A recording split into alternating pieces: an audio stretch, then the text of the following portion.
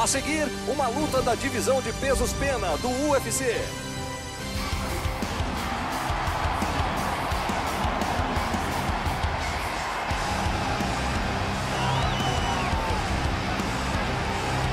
E lá vem ele, saindo do túnel direto pro octógono. É incrível a rapidez e a velocidade desse lutador. Excelente trabalho de pernas e de fintas, que pode ser um pesadelo para o adversário. Quem lutar contra ele vai ter que se ligar para não ficar prensado na grade nem nas quinas do octógono.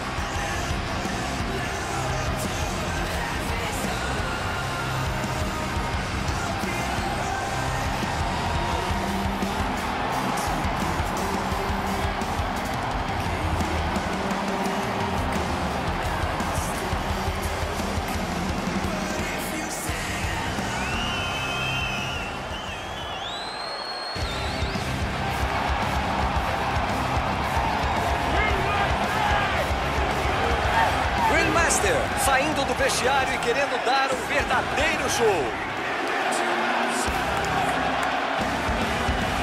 Será que veremos mais uma luta que ele mantenha o pique até o fim? Um bom condicionamento é muito importante, é óbvio. Mas ele é um lutador que leva isso para um novo patamar e tende a caprichar sempre, não importando a intensidade da luta e o tempo faltando no relógio. Grandmaster já no octógono aguardando o início da luta.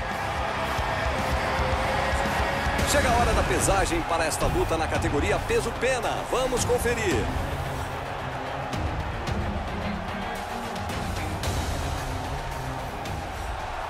Ladies and gentlemen, this fight is three rounds in the UFC featherweight division.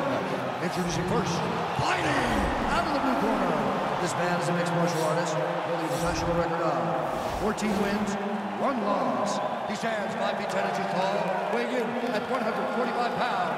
Fighting out of Gumi, South Korea, the Korean Superboy, Doo-Ha Choi. And now introducing his opponent, fighting out of the red. This man is a kickboxer, making his professional debut here tonight.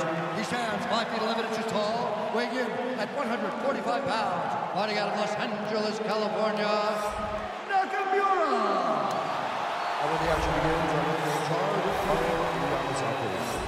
Mário Yamazaki, nosso árbitro, para essa luta de pesos pena. Agora sim!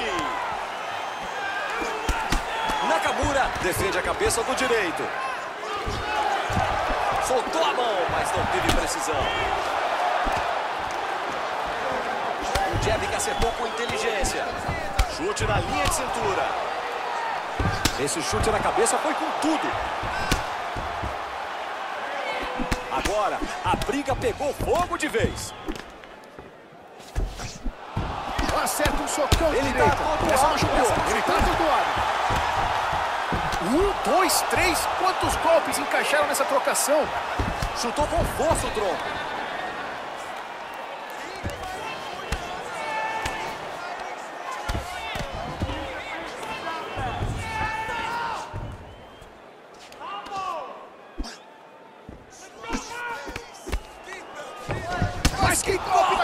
Cabeça! cabeça. Se Ele na se grade, lançou foi na interessante. grade no momento exato. Sentou o pé na cabeça. Um soco com vontade. Um chutaço cruel na cabeça. Olha que combinação. Acertou a cabeça outra vez com o chute. Ele ficou abalado.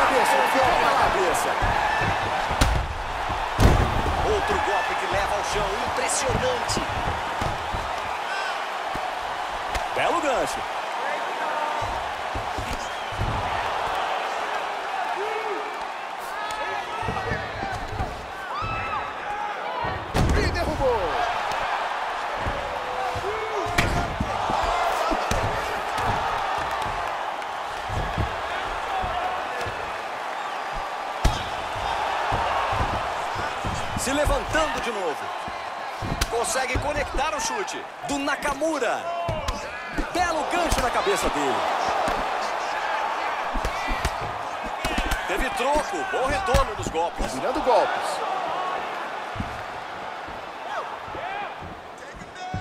Foi um tiro esse chute.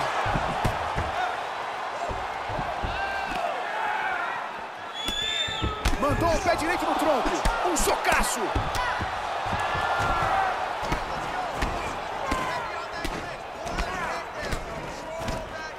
Situação do inchaço piora. Se separaram. Um tremendo gancho acertou a região do tronco. Acertou o chute circular no alto. Ele tá lado. atordoado Essa machucou. golpe na cabeça. Levantou outra vez.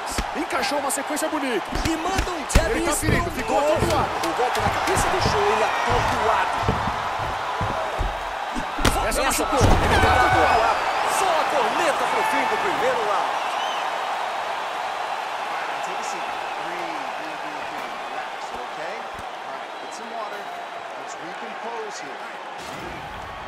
Algumas derrubadas nós vimos aí. Agora um golpe que entrou certeiro. E aí vai pra lona mesmo. Não teve jeito.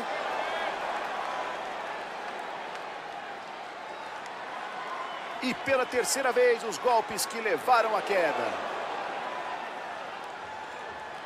No replay, o lutador quase finalizou esse round. Vamos ver como o adversário se sai no próximo round. Entramos no segundo round. Nada mal esse direto. Lançando um pouco de tudo para dar um forte, Forte golpe na cabeça. Ele ficou pra lá. Agora acabou. Chute fortíssimo, com extensão e potência total. Assim que o pé fez contato com o corpo do adversário, foi o fim para ele. Que tal darmos uma olhada nos destaques do combate? É, foi um chute de arrasar com tudo. Dá uma olhada. É, tá bom! E aí de novo, o golpe entrando e foi perda total.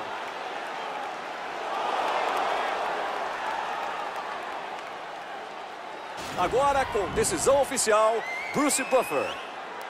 Ladies and gentlemen, referee Mario Yamasaki has called a stop to this contest at 17 seconds of round number two. Declaring the winner by knockout, Nakamura! Grandmaster consegue a vitória por nocaute.